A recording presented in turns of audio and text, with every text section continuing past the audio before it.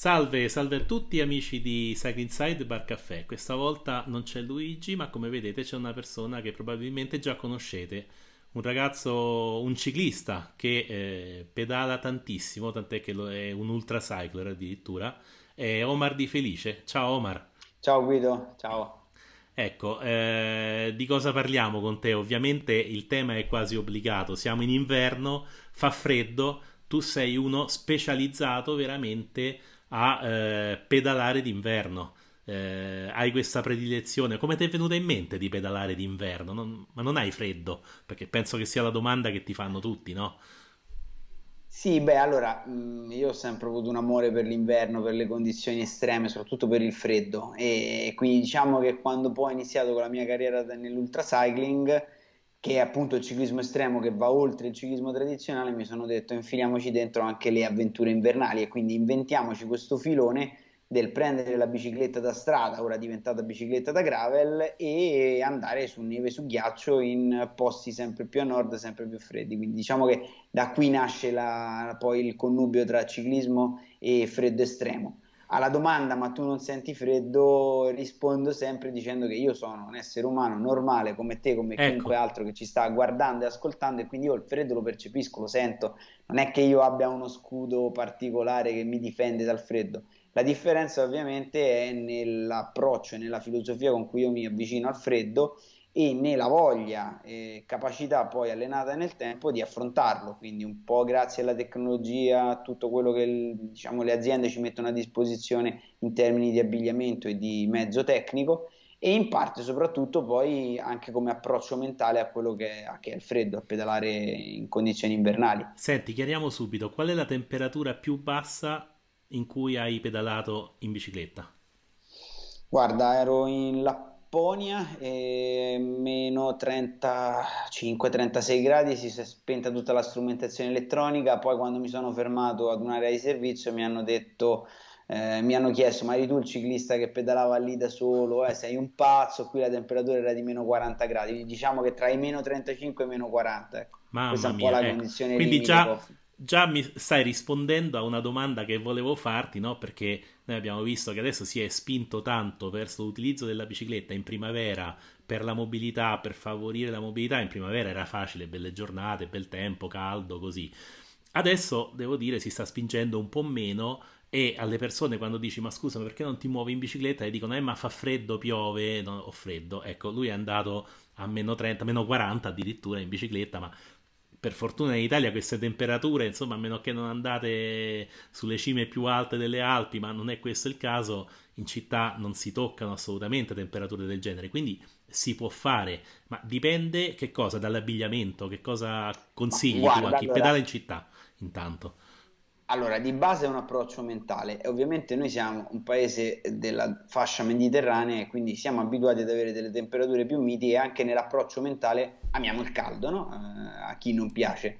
E, e, quindi di fronte alla pioggia, al freddo, all'arrivo dell'inverno, alle perturbazioni abbiamo un approccio rispetto a questo cambiamento climatico molto negativo, quindi arriva il freddo, ci dobbiamo coprire, dobbiamo stare in casa, dobbiamo certo. uscire in mano, in auto, insomma tutte cose che senza arrivare a pedalare, ovviamente quello che faccio io è estremo ed è qualcosa che lo faccio io, lo fanno gli atleti come me, ma se noi guardiamo e buttiamo un occhio in alcuni paesi del nord Europa, ad esempio, troviamo luoghi dove non esiste neanche porsi il problema pedalo o non pedalo, perché gli inverni sono talmente piovosi gli autunni sono talmente brutti e sono talmente pieni di condizioni avverse che se loro avessero questo approccio mentale praticamente non metterebbero il naso fuori casa. Questo che significa? Significa che ci possiamo vestire, ci possiamo attrezzare, possiamo muoverci, fare anche del commuting, quindi non avventure o allenamenti per forza, certo. ma prendere la bicicletta e fare i 2-3 km, 5 km per andare al lavoro o fare la spesa comodamente con la nostra bicicletta. È un discorso di approccio mentale anche perché se uno esce caldo da casa ci mette un po' a raffreddarsi, ad avere freddo, anche se non è coperto tantissimo, no? Immagino, come, come cosa puoi dire a chi si muove in questo modo, appunto i 5-6 km, che poi sono un po' lo spostamento medio che è stato calcolato di chi si sposta in città normalmente, insomma.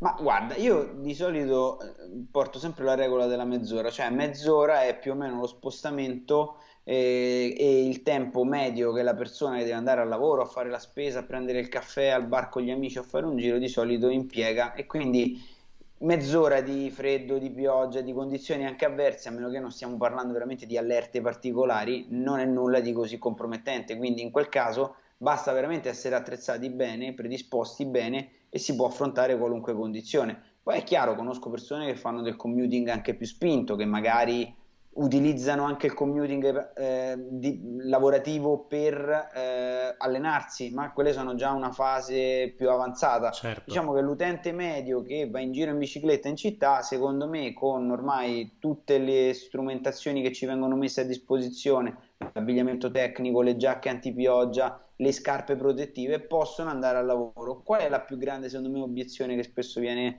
mh, mm, eh, mi viene fatta? E a volte sono capitato anche in discussioni dove ti dicono eh ma io non posso andare al lavoro sudato, eh ma io non posso andare al lavoro con la giacca bagnata, eh ma io non posso andare al lavoro con le scarpe con cui puoi certo, pedalare, con le scarpe certo. con cui lavoro. Se noi guardiamo al nord Europa, queste cose le fanno, non è che al nord, in nord Europa non abbiano gli uffici, non abbiano i posti di lavoro o vadano sempre vestiti da atleti è una questione di approccio mentale, è entrare nell'ottica per cui sopra il mio abbigliamento devo mettere una giacca antipioggia magari un po' più sportiva, magari un po' più certo. diciamo tecnica e quindi pensare all'abbigliamento anche in chiave dello spostamento. Ma... Normale. Chiaro, magari ci si può portare anche uno zainetto. Io vedo qui, io sto a Varese, da queste parti quando è la bella stagione in particolare si cominciano a vedere quelli che io chiamo i ciclisti con lo zainetto, no? verso le 6 del pomeriggio, le 7, che sono quelli che escono dall'ufficio, si cambiano e si mettono della roba più sportiva per pedalare un po' di più e tornare a casa magari sudando, tanto poi arrivi e ti fai la doccia e il resto è nello zainetto. Anche questa qui Ma può guarda, essere una soluzione. Esatto. Esatto, ormai appunto come parlavamo della tecnologia, della tecnica, di quello che abbiamo a disposizione, possiamo portare lo zainetto, possiamo comprare delle borse da certo. bikepacking da applicare alla bici, ci sono valigie che si possono convertire a loro volta, valigie da lavoro che si, valigette si convertono in zainetto e quindi hanno anche lo spallaccio, ci sono una marea di opzioni che noi possiamo adattare.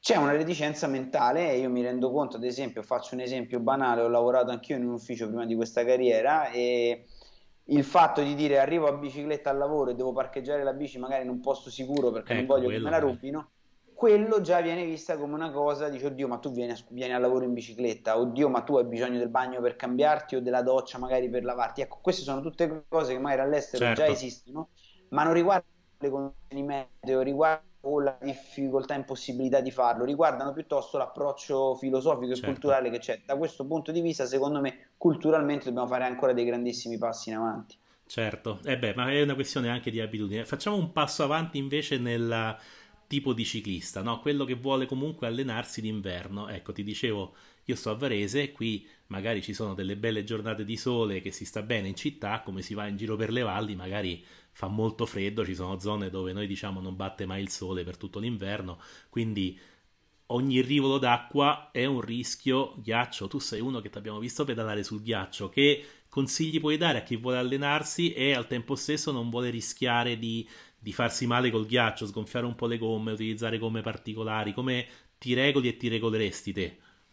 Allora, guarda, dobbiamo fare un distinguo tra quello che faccio io, che è prendere la bici, attrezzarla per il ghiaccio e partire sapendo che per x mila chilometri pedalerai solo su ghiaccio, quindi tu vai già certo. lì con un livello di attenzione elevato, con l'equipaggiamento adatto, quindi gomme chiodate, tutto quello che serve, ecco. e sai che dovrai pedalare in quelle condizioni. È diverso e mi rendo conto che è molto diverso, me capita anche a me qui quando mi alleno in montagna, di prendere la nostra bicicletta da corsa a temperature più o meno normali su strade pulite e trovarsi la classica curva o zona d'ombra dove ti trovi di colpo la lastra di ghiaccio. In quel caso lì può diventare molto pericoloso perché non siamo preparati tecnicamente perché ovviamente non possiamo girare con una bici da ghiaccio per Chiaro. fare veramente 100 metri su magari 50 km. No? Quindi io quello che con- consiglio sempre in inverno è comunque di mettere delle gomme di sezione più larga ora tutti i telai da strada per chi certo. addirittura non ha quelli da gravel c'è la possibilità di mettere delle gomme molto più larghe in inverno io prediligo sempre magari un battistrada un po' più tassellato quindi cercando magari di usare anche pressioni più basse in questo ecco. io utilizzo il, tubeless, il sistema tubeless che ti dà la possibilità comunque di lavorare a pressioni di esercizio molto più basse quindi in quel caso hai un'aderenza maggiore e poi tanta attenzione quando usciamo ad allenarci solitamente vicino casa, più o meno dopo un po' facciamo sempre, non dico gli stessi giri, ma conosciamo le zone dove andiamo, no? Quindi ovviamente certo. quando sappiamo che andiamo in determinate zone dove c'è il rischio di ghiaccio, prestare una maggiore attenzione, quello è fondamentale. Ecco, perfetto. Senti, siamo già qui arrivati al limite, però l'ultima domanda che è quella che criticano sempre, chiedono tutti quanti quando si tratta di pedalare eh, nel, col freddo, dicono sì, ma io mi vesto pesante, ho l'abbigliamento tecnico, tutto quanto così, ma mani e piedi mi si congelano sempre che non riesco più a muoverli. Tu che consigli puoi dare? Come fai? Adesso ci sono anche dei prodotti che scaldano le mani, ma senza arrivare a questi estremi che pure comunque sono utili, è sempre della tecnologia pure che dicevi tu e ci aiutano. Cosa consigli di fare per più o meno salvare mani e piedi dal freddo così, insomma, senza arrivare a meno 40 mm. gradi. Guarda, io utilizzo mm, un sottoguanto e una calza o sottocalza in caso di molto freddo in lana merino. Perché okay. la lana merino? Perché la lana merino comunque è un ottimo isolante termico e aderendo bene alla pelle fa sì anche che il freddo proprio non passi. Quindi io solitamente utilizzo quello come primo strato e poi sopra vado a mettere un guanto o ad esempio una scarpa. Per i piedi il consiglio che io do è quello di comprare una scarpa invernale se noi ci pensiamo ecco. un attimo, quando arriviamo ad autunno, noi, la persona normale media, cosa fa? Prende le scarpe estive, le infradito, la scarpa aperta, le mette nello, nel, nello scaffale e tira fuori le scarpe per l'inverno. Noi ciclisti invece fino all'altro ieri abbiamo un paio di scarpe con cui pensiamo di poter coprire da più 35 gradi a meno 2, meno 3 per chi abita al nord e magari deve allenarsi al freddo. E questo è sbagliato perché la scarpa da ciclismo, da competizione, non è pensata per essere invernale, quindi non ha eh, un'imbottitura in materiali specifici. Consiglio invece di comprare una scarpa invernale che il più delle volte è rinforzata, ha un'imbottitura magari in materiali come il Gore-Tex e magari con un rivestimento impermeabile, quindi in caso di umidità e di pioggia ci protegge, che è senz'altro meglio della classica, diciamo, escamotage della scarpa più copriscarpa più doppio calzino che vai a creare una serie di strati, di scomodità che esatto, poi perché poi per vestirti ci esatto, vuole tanto quindi io consiglio sempre di comprare un paio di scarpe invernali, metterselo lì nel guardaroba e usarlo tutti gli inverni, tanto comunque è una scarpa con cui noi pedaleremo poche migliaia di chilometri ed ha una durata maggiore perché comunque le suole sono molto più resistenti, le, le tomaie idem, quindi secondo me è, questo è il miglior consiglio che posso dare per i piedi. Certo, per le mani? Per le mani sotto guanto e lana merino, un buon eh, guanto e, lì, poi, okay. e poi, poi c'è da dire anche una cosa, diciamo a cappello di tutto quello che ci siamo detti. Comunque il ciclismo è uno sport che si fa all'aperto, è un ciclismo dove si respira l'aria, si, si può affrontare la pioggia, il vento, il freddo, con le dovute cautele e la dovuta attenzione, comunque bisogna anche essere preparati a soffrire un po'. Il bello del ciclista okay. poi è proprio che ama un po' no? la sofferenza del, del, ciclismo, quindi nei limiti del sopportabile prendere un po' di freddo non fa male. Ecco, e se ce lo dice Omar di Felice che ha pedalato a meno 40 gradi ci possiamo decisamente fidare. Bene Omar, siamo arrivati alla fine. Eh, ricordiamo ai nostri lettori di iscriversi al nostro canale YouTube, ai canali eh, su Spreaker, i podcast, eccetera, su cui pubblicheremo, pubblichiamo questa eh, bella chiacchierata con Omar. Ringraziamo tutti quanti, ringraziamo Omar per eh, aver avuto la pazienza di raccontarci un po' di sé e darci qualche consiglio e alla prossima. Grazie Omar e ciao e ciao a tutti. Grazie Guido, ciao a tutti gli ascoltatori.